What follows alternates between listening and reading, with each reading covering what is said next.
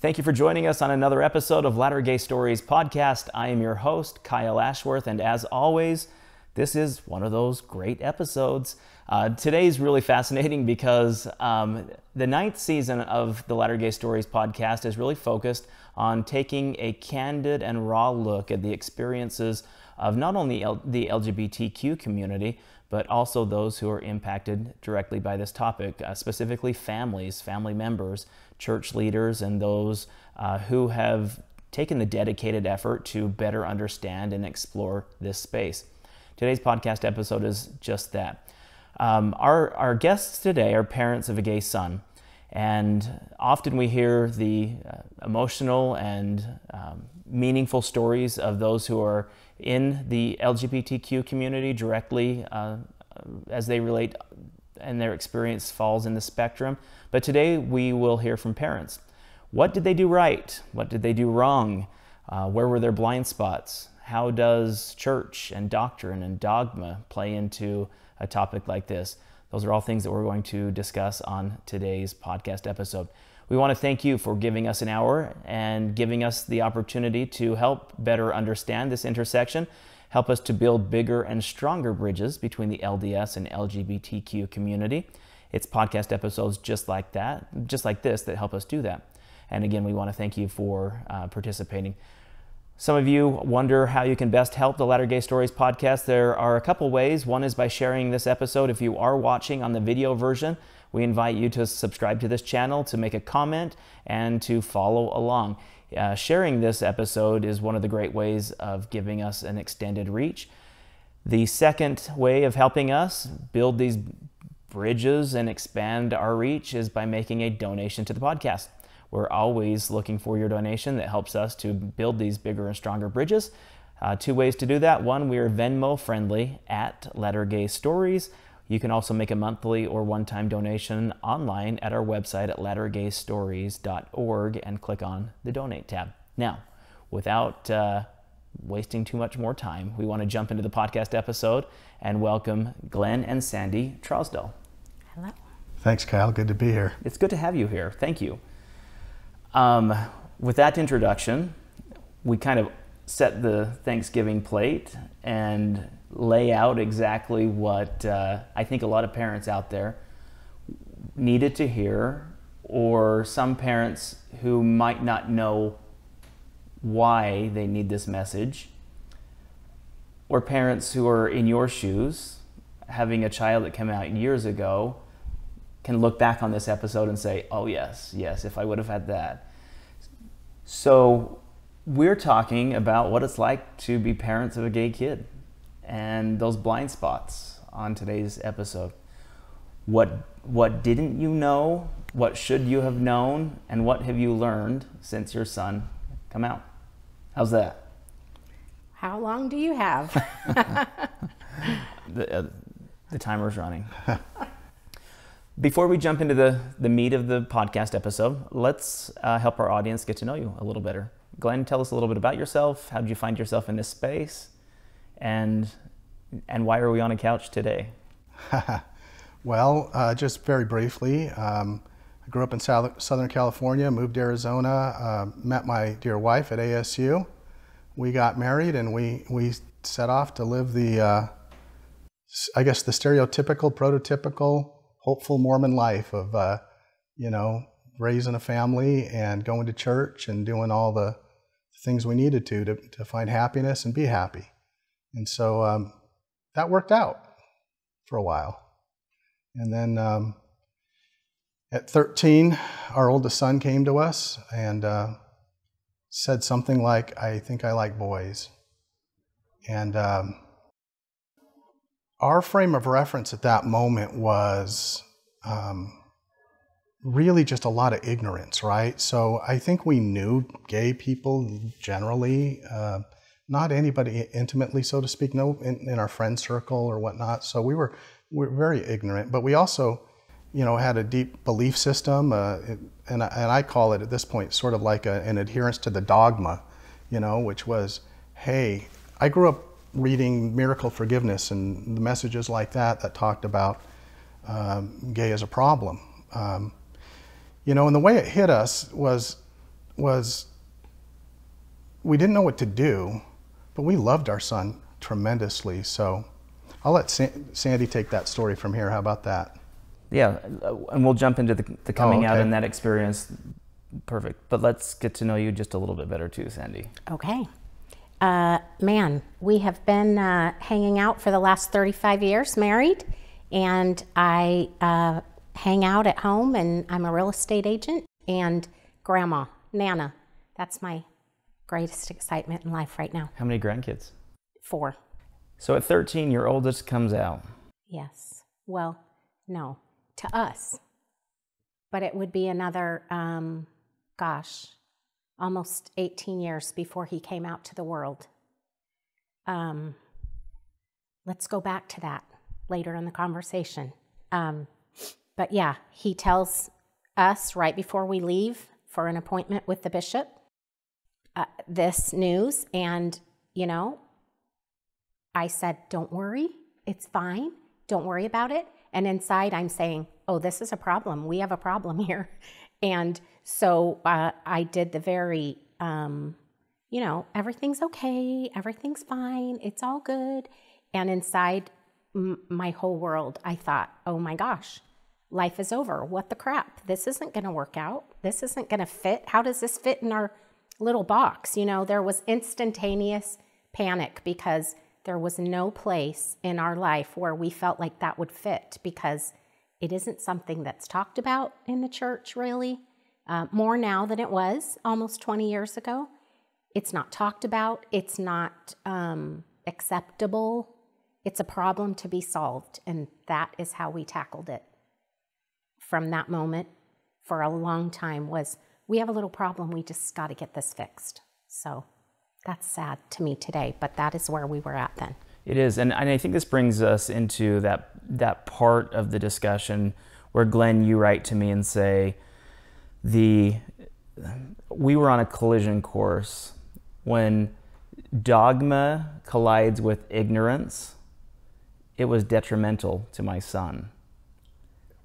And when I read that, being on the other side of this topic, being the gay kid closeted, it made perfect sense the the religious aspect of everything that I knew and hold, held sacred fought against something inside of me that that was screaming, "You're okay," but. And Sandee, when you were describing the situation, um, the best line that I that I loved was "weeping, wailing, and gnashing of teeth," because that was so vivid and so relatable when it comes to the experience of both the family and also the person who has spent so much time in the closet. So let's let's kind of dissect that. I, I want to jump into that a little bit and understand why, uh, Glen, you felt like dogma and ignorance was the worst thing that could have happened in your experience, and as a result, it was a literal weeping, wailing, and gnashing of teeth. I can, yeah, I can talk about that. You know what? When I, when I think about it, you know, so we we grabbed our son, took him to the bishop because that's the way we would solve a problem like that, right? We didn't even think to take him anywhere else, so to speak. So we took him to our bishop, and and there we got a little bit of hope. I don't know if it was that day or sometime later. You know, hey, uh, there's reparative therapy available, and then because I was ignorant about the science and about uh, you know the reality of LGBT issues, uh, I, I simply just sort of said, okay, there's the path. I have the path.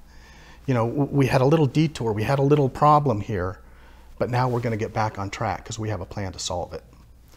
And through that, again, that ignorance, um, and then applying the dogma, we took Justin down a path of reparative therapy that um, I now call the biggest regret of my life because of what that did and um, caused him to stay closeted, caused him to have a hope still that he could change when he couldn't change, when he, and he, he did all the things he, he should have, you know, and, you know, served a mission and, and just kept chaste and all of the things that he was asked to do with, because his belief system, he had the same kind of ignorance and, uh, you know, belief systems.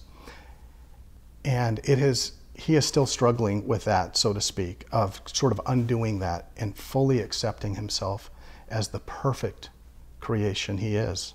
So as he comes out, 13, so young, as he comes out, um, I, I, want to, I don't necessarily want to tell Justin's coming out experience without Justin sharing his coming out experience, but I'm more partic- I'm more interested in your first initial thoughts, and then I also want to know about um, your discussion with your bishop and what what advice your bishop was giving you that led you into his office. So those moments when the revelation, the great coming out, um, as parents, how did you process it? What were the things going through your mind?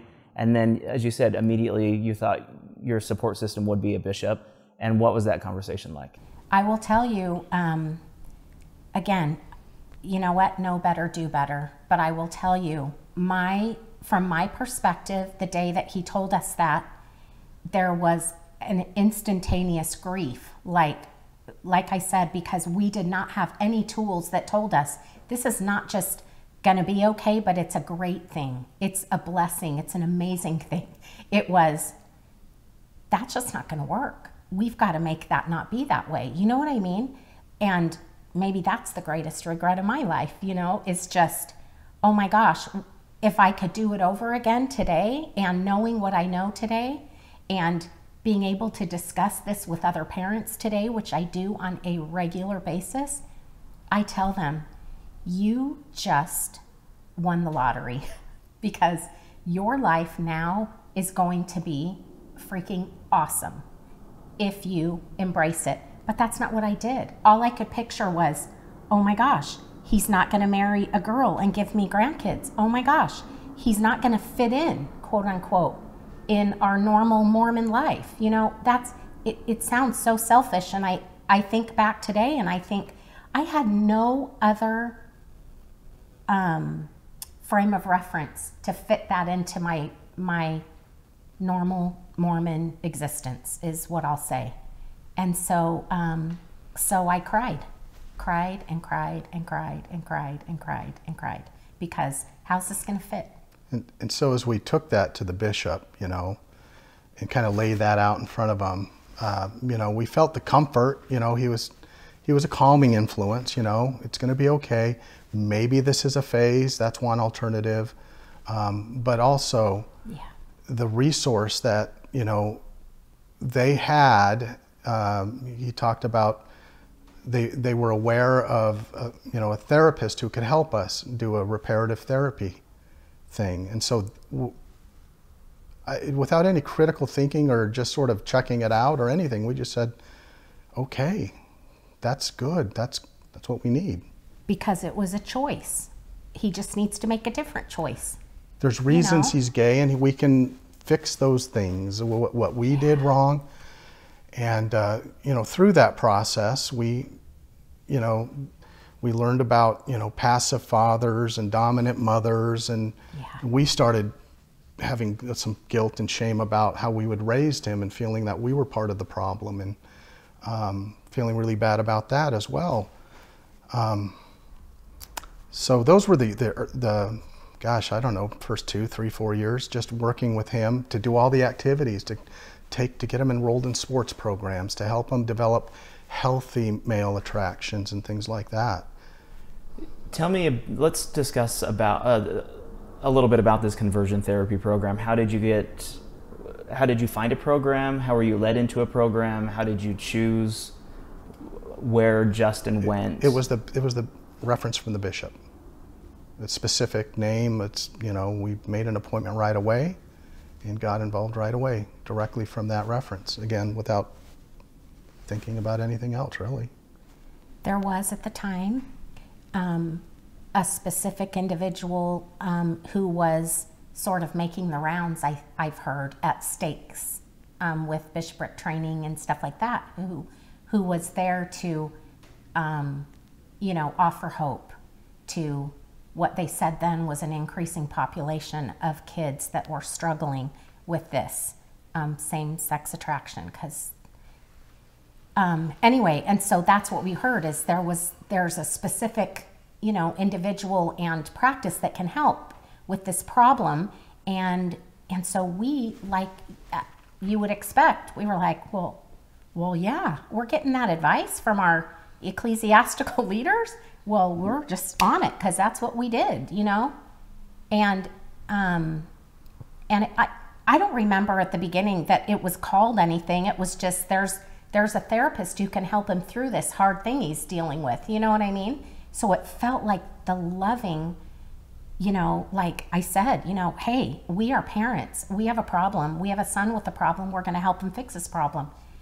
You know what? And gosh, the message that we got then, I don't want people to get today. And and I hope they won't get that today, which is that that's a problem. It is Yeah. a problem. It isn't a problem. It's it's that is exactly you know, parents need to not think about doing what we did. It, it was completely the wrong thing to do. One of the great messages that I hope to get across after a couple hundred episodes in the existence of this podcast is the fact that you're not alone, you're not broken, and that your best days are ahead. Essentially, in that order, and and I can see how a well-intending intended bishop would look at you and say, "You're not alone. There are other parents who are going through this, Yeah. and here's the remedy because something does need to be fixed." And so it's easy to unpack this, and that there will be wonderful opportunities ahead when all this goes away. Um, it's just that we unpack those all in the wrong. We, we expected to get a open those up and see a gift that didn't really exist within that box. The the fixing wasn't that we were changing their sexuality. The fixing was that you were able to now see your son for who and what he was. yes. Yeah. Over the over the over the years, Sandee and I went on our separate and together paths trying to figure it out. You know, um, you know, me, I dived into study. You know, I, I, I, had a question. I don't know, it was two or three years into it. I started to question maybe he's just this way. I, it sort of just dawned on me, like because he's doing everything to change it, but it's not changing, and, and, and it created that that spark of a doubt. Um, and then I just started, I guess, breaking down and questioning everything. What could I what could I firmly hold on to as truth, and what could I firmly um, grasp? And, and and you know, I tell Sandee, I, you know, our our web search history back in those days, I was searching homosexuality all over the place because I was now trying to really understand it, you know, and. Uh, and and I began to have a feeling of this is okay that he's he's that way, and um, so I think I don't know. There was a few times I remember in 2010 hearing Boyd K. Packer talk about this. It, it- this, and, and there was a moment that crystallized my experience because most of it was an internal struggle I was having. But when he gave his talk about God does not create gay people, why would He do that? Essentially, is what the, the lesson was. I stood up and yelled at the TV, "No!" in front of my family. You know, because I just didn't believe it anymore that gay was a problem. But again, um, uh, it, it took a time for Justin to still work through that himself, and Sandee was on her own path.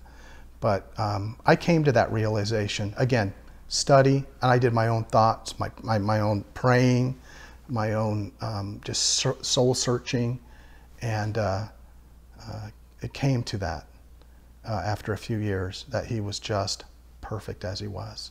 That was completely acceptable to not only to feel gay, but to be gay. And I developed this thought that it's not only just loving LGBTQ people, but it's accepting them fully in their full existence, in their full expe- uh, expression in their behaviors, all just like heterosexual people, including getting married, including having families, including just being, again, completely accepted, not just some patronizing love, right? And, and that's been my, my passion for many, uh, many years now is to really push that message forward. this community is awesome. As we've associated with members of this community, we feel the spirit. You know, we feel the the the the, the love, and um, and I think a little bit too is I feel like I need to do penance for my past past problems. I mean, for what I had done to my son, I feel like, you know, as a good religious boy, I need to do some sort of repentance or penance for that. How do we apologize for those old traditions? What do you think, babe? I will tell you that I consider it um, an honor to talk about it every chance I get and with anyone that will listen to me because I am going to pave the way for this to be easier for every Latter day Saint youth that ever comes out to their parents. And I am going to do my utmost to, to try to prevent other parents from screwing it up because I don't think we could have loved our kid more than we loved our kid. We still, I just feel like that the love was always so intense and so deep and so real, but we still did it wrong. And I, I just consider it a privilege and and I take every opportunity to have conversations about this with every person that I can in my ward, in my stake, in my sphere of influence, anybody. And and so I get phone calls on the regular from people. Sandee, I need to talk to you. Or um, my mom says that I should talk to you. You know, I live in this state. Can we call you? And I go, absolutely. When can we get started? And and that is just I feel like that is all we can do. I cannot go back. If I could go back, would I go back? Absolutely. Would I do it differently? Yeah. But guess what? We don't get do overs in life often, you know. But moving forward, I will never, ever, uh, moving forward, make the same mistake again, you know. And so that's all I can do is I can try my utmost to make it better for the kids coming out and for the parents who might have a tendency to just um, see it wrong. I don't know how else to say it. Yeah, I think uh, this leads me into I, I think a two-part question that I want to jump into, and I want to I want to really talk about the mistakes, um, and, and I want to do this in two parts because Glen, you brought this up that during the original uh, conversion therapy program, the the commencement of that, uh, and this is a very common experience. The therapists will say the cause of this was, and they'll usually list three or four things. One is a overbearing mother. Yep. A distant father. Yep. Masturbation. Yep. Yep. And then either a non-adherence to religious principles. You're not praying enough. You're not Yep. worthy Work harder. enough. Work Yeah. harder. Yep. Knock until your knuckles bleed. Uh, pray until your knees are calloused. The ultra religious aspect of this. So the nodding means you've went through each of those. Yes. Absolutely. How does that make you feel as parents and, and as parents who listen to this podcast episode who are just beginning this journey or who don't know yet that they need this discussion because their child or children have not yet come out? How does that make you feel as parents to hear that from a therapist who's licensed and has credentials saying that you were the cause of your child becoming gay? Yeah. I'll take that first, if you don't mind. Yeah. you know, back then when I was hearing it, I just took it as truth, right? So I internalized it very early on. Um, um, the I think we both just realized pretty early that Justin wasn't causing this. You know, he wasn't masturbating. He was the most religious kid around. He was dedicated. He served. He did everything he was supposed to. He was um, really good. So I didn't really see those as like, well, it's probably not those. I know those are probably things that could cause it. But what, what I did see is Sandee has been a very active mother, and I have been a little bit passive. I could see maybe there's some truth to that. And we internalized that. I, I'll speak for myself. I internalized that, and not in a healthy way. Not in a healthy way. I think I resented Sandee a little bit for her dominance. Oh. I think I, hated myself for my passiveness. And we really would meet and talk about checking ourselves all the time. You, Glen, you go, you do that. You go talk to him because that's the dominant move, and That's I won't. right. And and and oh. so, you know, we were making ourselves other than we naturally were. You know, and and and uh, I then once I got more educated about it, I really felt like we've got to have therapists stop telling people that it's not true. It's not true. Scientific communities all around the world uh, are, are, are agreeing that compare, uh, conversion therapy and reparative therapy doesn't work. It's pseudoscience. So, um, yeah, it was a problem. It was a problem in our marriage, frankly. It caused Yeah. problems in our marriage. What was your experience like, Sandee? On on the reverse now. Uh, I'm saying like so not only not only are these therapists looking at you as parents saying here were your pitfalls, but now what Glen's talking about, he even is buying into this and, and looking at you as this source as well. How, how do you internalize and, and process that? you know what in the same way that that he's doing that and he's like "Y- yeah you this this you know and i'm like you know well if you weren't so detached then we wouldn't be in this predicament. You know there was a lot of blame there again you know it, it was not good for either of us during that period. It was it was not good for justin and it was not good for us you know. We were on the job and um, we were present. We were in therapy with Justin. He was in therapy by himself. And we were constantly, like Glen said, in this push and pull of, oh, you know, I'm like, well, what am I going to do with my personality? It's still with me and, and I'm supposed to be changing it, you know?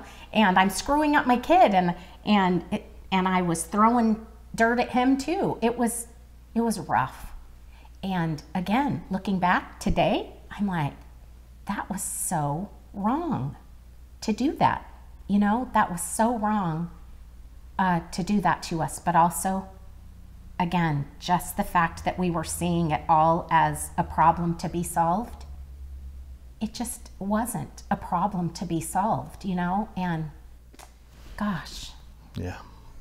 We've discussed this um, aspect of, of this conversation uh, with your bishop in the terms of just your bishop. Did you reach out to any other ward members? Where were you as parents outside of therapy turning for support? we were all closeted. We that that was one of the worst things is it was a thing to be hidden still. It was a thing to be kept quiet. It you know, we had the opinion that if he comes out at high school, that high school will be hard. If he comes out at church and with family, that will be hard. So we talked to nobody. Uh, Maybe not nobody. Did we talk to nobody, somebody? zero people. Yeah, we talked to nobody. But but we also, from my perspective, we were uh, respecting at that point Justin's wish to I gotta I, I'm gonna fix this, mom and dad. I don't want this either. I'm fixing it. So it was just going to be a period of time, and then Yeah. it was going to go away. So why would we? Why talk would we to talk people? to anybody? Because But- it would just be a temporary thing that we Yeah. would all put behind us. Yep. And you know what? Having said that, I will tell you that I, um, again, looking back, oh my gosh, you know what? I, I have spoken to people, and if we had embraced it and him in the way that we needed to, he would have also embraced it and himself and not dealt with internal homophobia. And so he would have wanted to tell the world. Yeah. And there was a time when I remember a conversation that Justin and I had where he, I don't know that he came out and asked the exact question, but the implication was, Mom, are you ashamed of me? You know, that kind of a thing. And again, those weren't the exact words, but the conversation was something along those lines. And I said, Are you kidding me? If I felt like I could, I would scream it from the rooftops if that's what we were doing, you know? Because no, because Justin was the perfect kid, the perfect kid. But I remember that. And then at the same time thinking, but we can't. We're not doing that. Yeah. I did not tell my my own mother. I mean, I did not tell anyone because it was not my story to tell. And so, could we have used support? Maybe we would have come across someone smart who said, Hey, Oh, yeah. you idiot parents, you know? Hey, you don't need to do this. Yeah. It's super exciting to have a gay kid. Yeah. I mean, that's what we, Uh, we yell at people now. Like, yes. when they come, I just want to come downstairs when she's talking to somebody and just celebrate. You have a gay kid? That's the best thing that could have happened to you. Yes, but we didn't. But we didn't know that that was a future. That was a possibility for us to just shortcut that whole thing into a celebration. Wow. We could have saved years We could have been of pain. for years. yes. with people but we didn't but we and honestly again i i take full responsibility for the fact that um, probably our son felt like i can't talk about this because it didn't fit in our mormon world that's Yeah. so sad you know um, but as time went on, we took our cues from Justin, who's getting older, you know, and and there came a time when we're like, "Are you are you going to ever come out?" Because we were ready, you know, we were ready. He had really, like he said, done so much reading, so much research, so much learning, and we were coming around and we were completely evolving and and then we were talking to Justin, you know, and and we were like, okay, we're ready. Are you ready? You know what I mean? And and uh, is there damage from staying in the closet from the time you're 13 till the time you're 30? Oh yes, there is. Yes, there is. Absolutely, and that's a long time. But any amount of time, yes, take the time to, you know, tell the important people as a family or whatever, but you make sure, um, parents, and this is me, like I said, if I could change anything, you make sure that they know that you will be ready and on board as soon as that's their desire. If it's tomorrow or if it's a week from now or whatever, you are there and that you will be on the party bus and ready to go. I want to talk about Justin at home and partially uncloseted, and Justin in community. Were there two different people? Oh yeah. Without question. Yeah, he went he went to all the proms and the dances and the friend groups and played heterosexual Justin. He uh, played volleyball in high school because you know we encouraged him to get involved in the sports. You know, you know back then, and so yeah, he he there was two Justins, clearly was, All the while, but he depression. Yeah, right? yeah, Depression, was- anxiety, migraines. Yes, all of that. But he, but he didn't come home. Again, maybe we're idiot parents not seeing it and recognizing it because he was just good at home too, you know, and did all his church callings and just did everything. Prepared for a mission, went on a mission. He did all the things. But as we've talked to him, you know, in, in the recent years, yeah, he suffered tremendously. He suffered tremendously keeping that all in. Um, and, Yeah. you know, and, and here's one of the things I would want to say to parents too. Our experience was Justin did not act out, you know.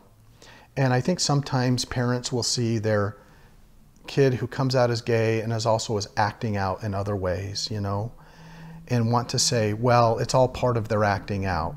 And, I want to say, no, no, no, no, it's not. And don't don't fall for that. Don't think that. Teenagers act out. They just do. Justin didn't because that's just who he was, you know. But I think that hid it from us a little bit too, you know, because he just kept it together seemingly so well, but doing tremendous damage to his soul, to his heart. Um, he there's this, this there's this concept, and he, he's talked about this. He did have sui- uh, suicidal ideations. He did, because he literally could. He he would have these thoughts. If I die now while I'm chaste, I'll be fine in the celestial kingdom. Or, why would I continue on in this life if there's no hope for me in this life to be who I really am? And you hear that story over and over and over again. And And I just want to shout from the rooftops this is not a trivial question, people.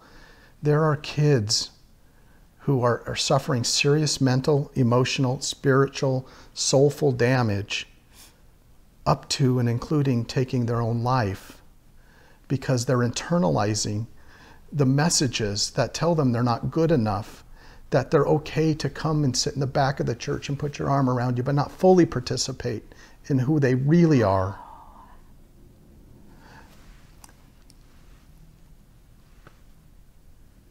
Um,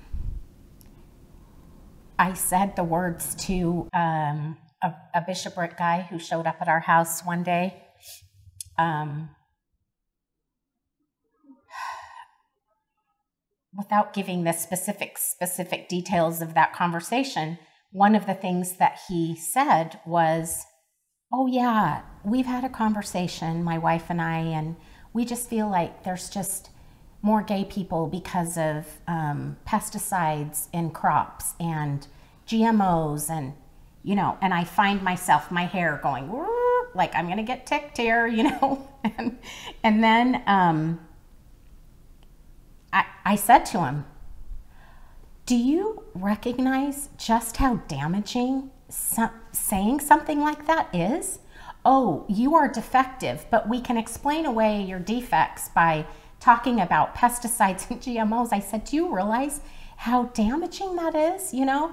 And I said, There are gay kids all around that are hearing, Oh, it's okay that you're gay. Don't worry, it's going to be remedied in the next life. The Lord's going to make you perfect in the next life. And I said, and then you've got these kids that are going to dispatch themselves to the next life by killing themselves because what the heck? At least I'll be perfect then. So I said, you have got to be very, very careful about the messaging and just at what feels like just a little innocuous comment like that. No, that is not okay, you know? And he got that message at that moment, but we have to be so careful. And I I remember very specifically Justin saying, I just don't want to be here anymore because why would I spend the next 60 years on the earth um, if I'm going to go to hell?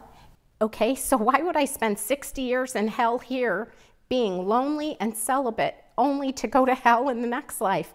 Why wouldn't I, if there is supposedly going to get a fix, why wouldn't I just get there quicker? Because this is hell on earth here. How sad is that? That that is the message that we are sending. We can't do that. You are opening up the door to a very candid conversation that's super uncomfortable for Mormons. Yes. Currently, um, and I'm sure throughout your journey, you were well aware of the Gay and Mormon uh, website, uh, yeah. Mormons and Gays.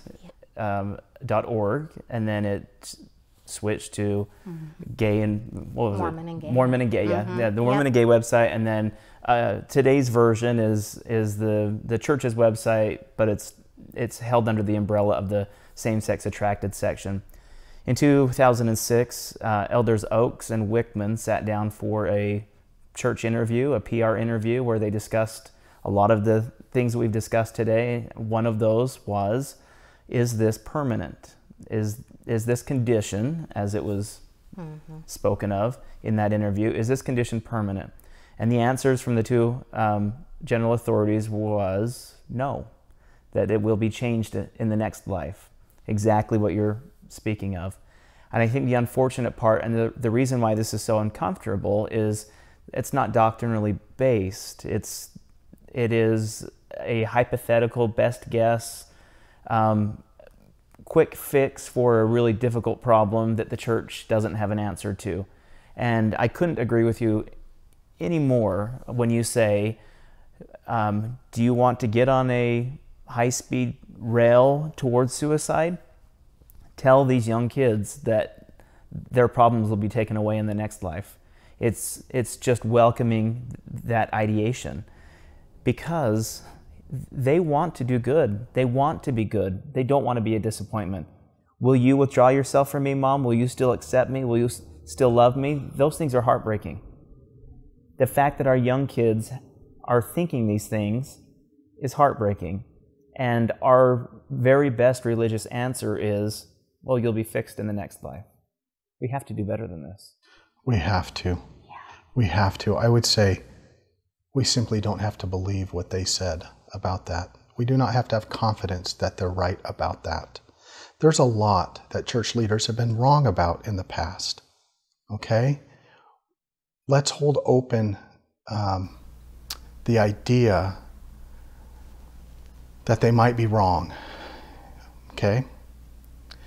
And just love and accept these kids perfectly. Y- you know, I don't know, maybe you ought to take over from here on that subject. no. uh, I, I think we should dig into this a little bit okay. because I think you're in you're in territory that is uncomfortable and it's uncomfortable because we don't talk about it. Yeah. So um, you say, and I'm just going to play devil's advocate for a second. You say dig in and love these kids. Religion says avoid the appearance of evil. Don't associate yourself with people who are sinning. How do we combat that message? If embracing your son and accepting him for who and what he is, and encouraging him to date, and encouraging him to be authentic in who and what he is, doesn't that counteract the whole message of the church and religion?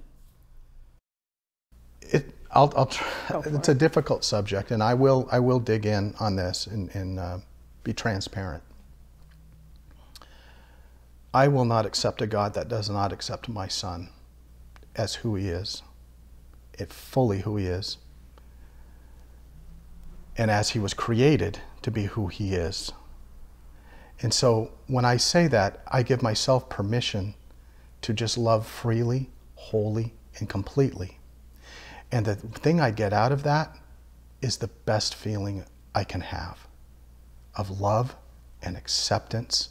And I don't have that wrestle in my heart anymore because, again, I I worked through a lot of things over a lot of years and have came to that come to that conclusion that the God that I envisioned that I would accept as my God, as my Father, is much like my Father on earth, who was a great man, who loved me unconditionally and accepted me fully.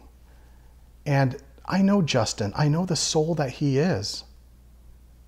If there is a God that would set him aside because of who he loves and how he loves, it makes no sense to me. Not in my mind and not in my heart. So I just reject that out of hand at this point. Now, Glen, your faith transition or nuance happened a little sooner than Sandee. Hearing him explain that today, was your heart in that same spot? Was your mind in that same spot at 13, 14, 15, 16, 17 year old Justin's experience? Or at what point did you get to that point where you said, I'm not as, I'm not focused or I'm not as in in connection with the religious message as I am with the authentic part of who my son is? That is a loaded question. Even today, Glen and I are not on exactly the same page um, when it comes to lots of things related to the church. But in this particular subject matter, both of us fully embrace and accept our son. Yes, he um, did all the research and all the study and he started coming around to but but what if they don't have this right what if you know what if the church has it wrong. And i'd say oh i don't want to do that. You know what i mean? I that was nervous. Slippery slope. Yep i was scared. So yeah he became nuanced way before i did no question about it. Um, having said that uh, still for me today, when Glen describes how he just described that, it's a little different for me. There's no um, doubt in my mind about Heavenly Father and Jesus Christ and how they see my son in my head. I don't uh, spend a, a lot of time worrying about how Heavenly Father and Jesus see my kid. I worry about how this church that I love is seeing my kid and treating my kid.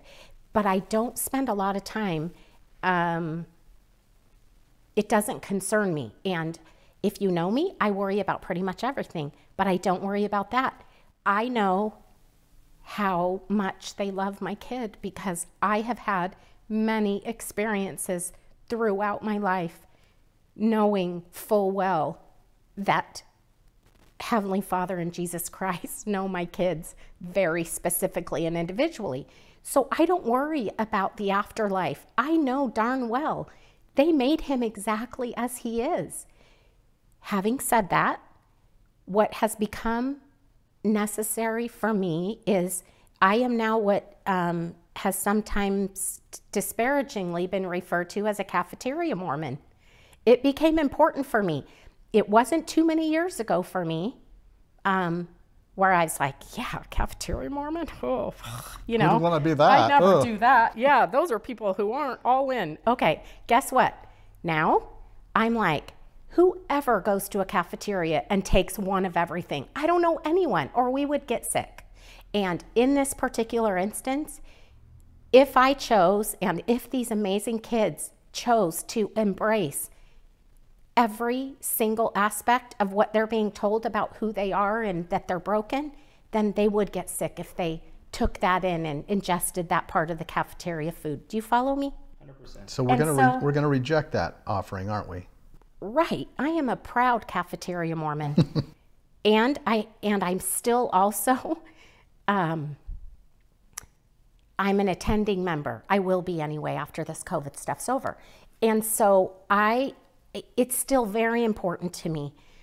But also what is critically important to me is that I am going to be a voice until my last breath. I am going to be a voice for um, these kids and these adults and humans that uh, don't have a voice. And I will say it, like I said, every opportunity that I can. And I do. And I am transparent about it with my leaders and everybody who knows me knows it. I am very outspoken about um, exactly how much I embrace and believe that these are perfectly created human beings. Eh, Perfectly imperfect, just like me and him and you. Oh, sorry. And so, you know what I mean? So, uh, yes, we're all one and the same human family, you know, and it's got to get better. And I and I hope and pray that it's going to get better but I'm sure as heck going to be around to make sure that there's not damage done in my purview. You know what I mean? Yeah, and I, and I want to jump into this space about what will it take to make this better. But before we get to that part of the interview, I want to I want to jump on something that I that you just brought up, um, your discussion with church leaders, um, this topic. I know that there are people listening to this episode saying, I would love to be more open. I would love to share this, but I fear what my neighbors would think, what my ward members would think, my bishop and my stake president and their relation to this card that I carry or potentially couldn't carry, meaning the temple recommend. Let's explore that. What is your advice to those well meaning Latter day Saints who think similar to you but aren't vocal about it because of fear of what other people will think or say? My advice is be true to yourself and let the chips fall. And so say it, say it out loud with no fear of retribution.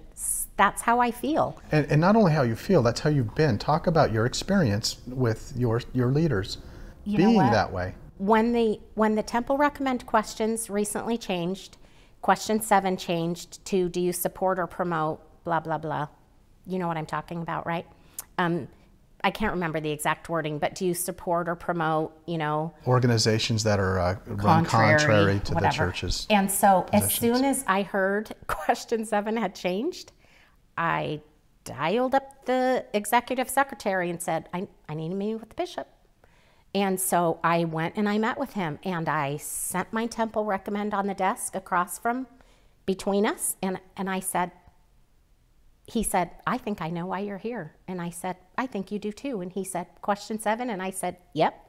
And he said, Okay, so what do you want to talk about? And I said, What I want to talk about is what you already know about me. I absolutely support gay marriage. I support my son, but I don't just support just my son and love only my son. I support everyone like my son, that they should be able to do this, and I will be outspoken about it, and I will not be silenced. And um, and he just smiled and said, I know that, Sandee, you know. And I said, I know, but I just want you to know that I am willing to give this up, to give this back to you, this recommend that I've had my whole life. I'm willing to give it back to you, but I am not going to be, I, I have to be transparent about exactly where I'm at. Okay, we have a conversation. It was a great conversation. He said, Don't worry, you are good, you are good to go. Continue to, to attend the temple. Perfect. I go in for my interview with um, a member of the stake presidency. Okay? I already knew from talking to the bishop that he had shared this with the stake president. And before I even came in, hey, guess what? Sandee Traasdahl's coming in. I bet I know why. And they conversed about it. And he said to me, and Sandee, lest you feel concerned about what the stake presidency people feel, don't worry, we already talked about you, you know, and everything's fine. And I'm like, okay. And he's right. You know, I was like, oh, I, well, this went well, but, you know. So I went, and uh, that particular day, the individual that I spoke with um, was busting through the questions quickly, right? And um, got to question seven, and blah, blah, blah. Do you support or promote? And I, I said, well, I I just need to say, you know, I, I've got a gay son and I, I just need you to know that I, and I, I lay it out there again, you know, I do, I support and promote it, you know, and, and he says, uh, oh, well, there's nothing wrong with loving your son. And I said, yeah, it's more than just loving my son. It's that I believe that this is an okay thing for people to be gay, to get married. And so and I and I'm vocal about that because I didn't want it to be chalked up to you love your son go ahead and love your son and so I was very clear and he said um, and again I'm, I'm making this difficult right because we're supposed to just hurry and get through these questions to get on to the next person right and uh, but I again clarify and then he says to me Sandee, as long as you're not marching in gay pride parades and doing stuff like that, you're fine. And I said, oh, I did that last year, and next month I'm doing that again. And he just looked like shell shocked, you know? And um, he said, You're fine. and we blew right past it. And you know what? I'm like, Okay, I get home. He says, How did that go? I tell him the story. And he goes, What are you going to do? And I said, I'm going to talk to the stake president. I'm going to march right back in there because I said, he signed it, but I'm not using it until I go back in. And I did. I went back in and I had a conversation a week later and I laid it all out and again was told, It's okay. You are fine. So I would say, be transparent, be true to yourself. But I will tell you that I've heard stories of people who are told, because of that, you can't have a recommend. And if that's what they were to tell me tomorrow, then that would be a that would be an easy decision for me about what my choice would be. And that would be that I I choose to be true to myself when it comes to this and I feel very supported by my Father in heaven. I don't wonder about how he feels. I think that's a great point. And I think for a concerned Latter day Saint in this space who is worried about um, supporting the marginalized or this topic in particular, just I think there's a great opportunity for you to jump into the words of the apostles and the direction from the church because Elder Christofferson, Elder Cook, Elder Anderson have all been on the record saying You it's can. okay Mm-hmm. Yes. and that you can get a temple recommend. That's right. The caveat has always been are you using your advocacy to pull people out of the church? Right. And and actively, the, the word is actively pull people out of the church. Right. Um, with intention. And if that's if that's the case, the church seems to have, have a problem. If you are advocating for the health, benefit, and safety of the marginalized in a, in in this space, and if that sometimes does include taking a break from church, I don't know that the church is concerned about that Yeah. and Yeah. and there's there's there's great precedence there that the church has already laid down in a foundation to help members su- support this space, which I think is a saving Yeah. grace. Yes. No question. And there's there's just a bigger picture here at work um, than even than the church. There's a bigger picture, and that is I was put on this earth to be my best self and to do what I feel is the right thing. And so at the end of the day, again, let the chips fall because I will be able to sleep at night and go to my grave knowing that I did the right thing by these people who absolutely deserve nothing but the same thing the rest of us do, which Yeah. is love and connection and the ability to live as they were created. And so, No more mom, are you ashamed of me? Conversations. oh no, none of that. Zero of that. Let's talk about how we do better. Let's give some advice. If uh, you're to sit toe to toe with a member of the Quorum of the Twelve or First Presidency, what advice would you give them as a mother of a gay son, as parents of a gay son? I, I'm guessing we're going to get two different pieces of advice here. Probably. Glen would have probably a lot more advice. I'll let's just say start. that. Let's start with Glen then, Go for and it. And then we can soften the message with you, Sandee. No, just kidding. But I'd say it's inevitable. It's inevitable.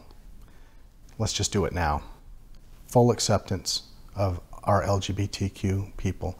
The church will shrivel up and shrink as we would have if we didn't set polygamy to the side. Okay? As we would have if we didn't set the, uh, the, the blacks and the priesthood issue aside. We will have to, at some point, fully accept LGBTQ individuals in full fellowship into the church. Why don't we just do it now? Because the coming up generation, they have lived with openly gay people in their classes. It's just not an issue for them. And, and, and more and more, this is affecting the church. It is, it, the church is losing people it wouldn't otherwise have lost over these, over these questions and these issues and these strains. and we're not talking about the riffraff. We're not talking. oh no. I hope I'm not the riffraff. I mean, so yeah, I would, I would, just, I just want to accelerate all of it, and uh, I would be so bold as to give that advice, and might not be listened to. I don't know. Sandee. I want to tell you, um, I would share this story. There was a day when Justin and Glen and I were on a FaceTime call, and I asked Justin's permission to share this because this is, in my opinion and his opinion, a pretty sacred moment for the three of us. But we were talking, uh, the three of us, and he said, um, he shared with us that he has this recurring um, movie in his head, like a dream, but it's during the day, it's at night. And he said, he's telling us this this day. He says, I, I'm walking up to this building, and he says, I can see inside this building you, mom and dad, and I can see my siblings, and I can see various family members and some super close friends. And he said, You're all inside this building. And he said, I walk up to the building and I and I try to open the door and I can't get in because the door's locked. And I just keep trying to get in, and everyone I love is inside that building, but I can't get in. He loses it and starts to sob. And I say, Son, don't you ever worry that you can't get in. Because if we're ever inside somewhere, because I'm being a little thick headed here at this moment, I don't get the moment yet, but I said, "Uh, if we're ever inside somewhere, we will absolutely let you in. Don't you worry about that, you know? And he said, Mom, don't you see? You don't have the authority to let me in. He said, I I want in, you want me in, and you don't have the authority to let me back in the building essentially, you know? And that just hit me and I I would want so clearly to paint that picture that we're inside the building and we are leaving outside of the building people that want to be in that building and and we are losing some of the best if not the best people because of this policy slash doctrine slash whatever you want to call it, we are losing them. We are losing them because people get tired and finally recognize that the damage is just too great and they and they they step away, but they don't choose willingly often. They're being ostracized and that is not what our savior Jesus Christ is about. It just isn't. So that's what I would want to share. But I would say it nicely because I I want to be listened to. You know what I mean? I think that I think that's great advice. I'm trying to think which direction I want to take. I do want to I, I want to discuss in this this same vein your advice to parents. What resources were available to you that were helpful in this space that you could offer to parents who are just navigating this journey um, in the thick of it? Is there anything profound, anything that comes to mind that was a great resource that helped you? I know as we've had this discussion, a lot of this was personal study, a lot of this was empirical data, the experiences of your son, and, and trial and error. Are there resources out there that you say, oh, this would be a, this is something you should jump on? There's lots now. You want to talk about a little bit uh, uh, some of the resources that are available now? I would say um, the first thing is is become acquainted with lots of gay people. Brene Brown says it's hard to hate people um, that you're close to, so move on in, or whatever that quote is. I just butchered it, but something like that. Uh, expose yourself to people that you can get to know because you will fall in love with that community. That's A1 number one. Um, Richard Ostler has done a fantastic job with his podcast and with his book.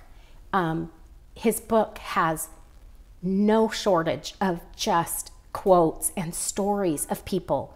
Read them and fall in love with them. Those are great resources. Listen to the podcast from the beginning, from its inception, um, where he talks to people and and surround yourself with people who are embracing their gay kids and um, call people up and say hey i heard you had a gay kid let's talk about it you know what i mean there's and there's facebook groups you know the mormon building bridges and the all I'll walk with you i'll walk with you uh, yeah. Locally, we have the All community here in Arizona, and uh, it was great before Corona, but we hope to get together again always receiving new parents into it. You know what I mean? Yeah. And it's a good resource to just like we're not alone. We're not alone. And there's all spectrums of ways folks have figured it out, right? Um, so the, the, those resources. Uh, of course, your your podcast is Absolutely. awesome as well. Latter Gay Stories has got some great great content, and then your chronology you put together is just a really great sort of. Uh, do you want to see what the church, with the, as you say, the crossroads between LDS and um, um, LGBTQ. Uh, great resource as well. There's so much like that to, that can help educate. And you know, it's hard because people want a safe place to, you know what I mean, to land, it's, uh, at least originally. And I think that's where some of these Facebook groups are, are good that way.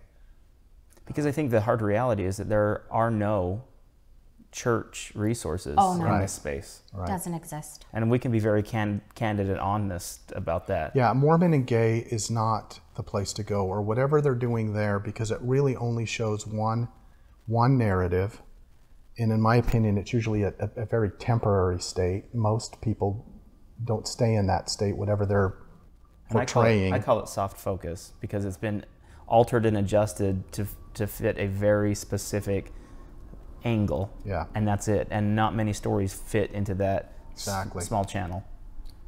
Exactly. I'll Walk With You, the Facebook group I'll Walk With You, is uh, LDS parents of gay children, and um, many of which are, you know, staying connected or want to stay connected and want to make it all fit. And it's it's just a fantastic resource. But as far as church church sanctioned and approved and um, produced. I, you will be searching a long time because I just don't know that that exists. Some wards and stakes do have. You, hear the stories about some people are able to do firesides and whatnot and put together, and sometimes they last for a little while and then cross some line somewhere and get shut down. But sometimes that's available. Um, What is your advice to that young man or woman or non binary individual who listens to this podcast and wishes that their parents were like you or wishes that they could come out of the closet? What advice would you give them? I don't know if there's advice. I feel so. I don't know. Um, love yourself. You are perfect. Um, maybe be patient. We, y'all wouldn't have loved us when our 13 year old, you know, we were ignorant, dogmatic believers. Yeah, we did it wrong. We did it wrong. Um, people, I've noticed in just some of the associations that Sandee's had with people, if you give people a little time, they'll come to it, you know, they'll come to it. There's very, very few people I've seen that just stay completely like, that's evil and that's bad. Um, but encourage, you know, the parents to get involved in these communities. If the parents, they might just be very like, they don't know anything, but if, if they can get turned into these communities, they can get helped and, and sort of soften some hearts perhaps. Patience. But, but, but I, but I would want to tell every young person, this has become a passion of mine, every young person, you are worth it. You have to stay here because it will get better. I'm convinced of that. It is always getting better. And that doesn't mean every day is going to be good and there'll be step backs and hard things, but man, these, um, the LGBT community, the people we have had the privilege of getting to know are so awesome. And we need every single one. We really do. Final words. Anything we didn't cover that you wanted to cover? What does the future look like for your family? For our family, I don't know. looking so forward to the day when Justin finds his person. Yeah. and we get to throw a big fat wedding and oh man just so excited for that. And to have another in-law join the family. We look so forward to that. And and I would want to talk him into having some kids. but you know, every grandparent wants that. So That sounds like selfish grandparents. it's selfish grandparents. absolutely So we'll, the most we'll selfish absolutely but yeah, the future of our family, and we would want every family just fully inclusive, fully accepting. Uh, take the judgments down. Um, if it feels, I don't know.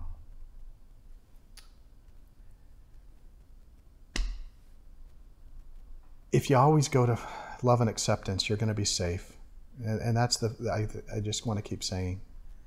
And it's not that hard. It's uh, let me let me share one other thought, Kyle, that I, I wanted to say that I've used with people too is people who don't understand the gay space. I tell them to play the reverse game. Just play the reverse game. Simply consider yourself surrounded by 90% of the rest of everyone's homosexual and you're heterosexual. And the religion that you were born into is homosexual um, um, advocating and really doesn't like your heterosexual stuff and doesn't accept it. And what might that be like? What might that feel like for you? And I have found that to be fairly effective if they play at least that imaginary game to at least for a moment see, yeah, that would be hard. Even if they can't accept anything else, at least they can say, yeah, that would be hard to be different like that and not accepted into whatever religious bubble is going on in their life, you know. So, and then move it one step And then- and forward then- and telling them and then just flip it. You should really flip that because you know what? We know that you, um, you know, you're heterosexual, but you know what? We don't really like that, so we are going to need you to turn into um, the opposite. Yeah. And they'll be like, Well, how, wait, how would I do that? How could I do that? I can't do that. That's not right. No right. kidding. No kidding. and all of the but the the happiness you're missing out on, all the spiritual experiences, the blessings of becoming gay. You're missing out on all of those. there will be no spiritual experiences Yeah. remaining heterosexual. Yeah. And the other flip side of that, you know, and I think this is obviously a nerve, but you you get into this idea that the heterosexual community says, quit pushing the agenda on us. Eh, All you're doing is is shoving this down our throats. Every time we turn around, we see a rainbow flag or or uh, equal opportunities, equal justice.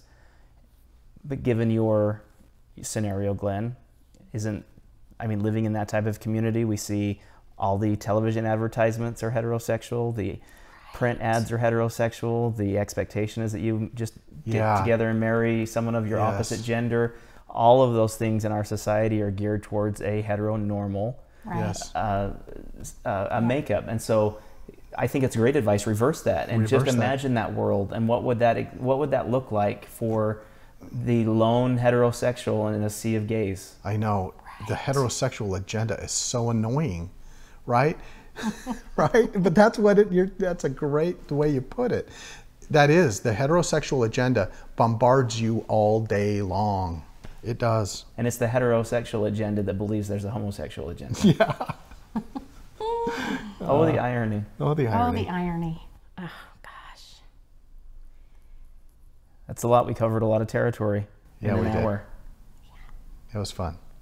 Anything else you want to add? You know, I I had a dear friend sit on my couch and say, "My child just came out. What do I do? What do I do?" Like a conversation that I have regularly, you know, and how did you get here? And believe me, I, I'm a much different person than I used to be. It's just true. It is. And that probably might freak some people out, whatever. I'm good with it. But I said, you are going to 100% fully embrace that child as if your life depends on it, because theirs does. And she said, I know, but we know that if we don't teach our kids, you know, that, you know, the sins of the, you know, that the sins are going to be on our heads, you know, if we don't teach our kids. And I said, the first and greatest commandment is love, right? And that is what you need to do. So all those things you feel like you need to teach your kid, you know, because but what if they don't want to come to church anymore? And and you know what? I've been asked that question now regularly. But what if they don't want to come to church anymore? I go, "Oh my gosh." Then accept that, embrace that and recognize that there is damage that will be done and can be done. There just is pull some of the literature out right now that is for the youth and you can see some of the damage. But I just said, right now, I want you to take everything you want to teach your kids and I want you to set it in the back seat of the car and I want you to teach unconditional love and acceptance and have that be the lesson that you are focused and intent on teaching because you will teach them nothing else that is critical. And again, their life depends on it. And that's what matters. It's the best way to end this. Nothing, nothing but love. Nothing but love. And better yet, acceptance. Love leads to yeah. Yep. that acceptance. Yeah. Thank you, both of you, for sharing uh, just a very candid and honest experience It's a pleasure. Thank you, Kyle. that didn't cost you anything to love. Yeah. Uh, I think that's the that's the beauty of the journey. Thank you for the work you do. Yeah. You're doing God's work. Yeah. One episode at a time, I suppose. Very good. Thank you again. Now, you did mention earlier in the podcast, just as we wrap up, that people do reach out to you. Are you okay if some of our audience reaches out to you? Likely, we'll, you're tagged here on Facebook, so they can reach out, ask questions. Absolutely. You bet, of course. You're open to that? We can tell them how to do it all wrong because we did. And a better way. All right, so a little more philosophy of men and less mingled with scripture. Is that what you're saying? Like, I'm not saying that. I am not saying that. Just kidding. Perfect. Um, so, f- So a free absolutely. opportunity for those who are listening to the, or watching this episode to jump in and and make that connection. I think that's you would be a great resource to parents out there and also to the the LGBTQ community who desires to have some connection to someone who gets it. Of course. And I Happy think it's evident that you both get Yeah. it. Yeah. Thank you. Again, thank you. You bet. Again, we're grateful for these two sharing their story and grateful that you gave us an hour of your time to better understand the intersection of sexuality and reality. If you felt something um, in this podcast episode, if you learned something new, if you think this episode should be shared, we invite you, if you are watching on the video version, to share this episode or even make a comment uh, to Glen and Sandee a, a question, comment, or just uh, an overall feeling of, of what you experienced in this podcast episode. I really enjoy, you know, this the ninth season. We've really tried to jump into um, kind of the the difficult parts of this discussion, where we can we can get to the root of uh, hard conversations and kind of the Maya Angelou uh, approach to this. When we know better, we do better. And having deep discussions like this really give us an opportunity to uh, know better. So uh, we invite you to uh, comment, share, and uh, help us distribute this message throughout your social media feed. And if you are listening on one of our audio versions, we invite you to subscribe to this channel as well. People often ask, what is the best way of helping us uh, in the Latter Gay Stories podcast? And it really is just uh, through social media, sharing content just like this. It's the Latter Gay Stories podcast, the deep dive into the intersections of sexuality and reality where it meets at LGBTQ Avenue and LDS Street that really do make differences in this community. But most importantly, it's stories just like this that help us to continue writing your Latter Gay story.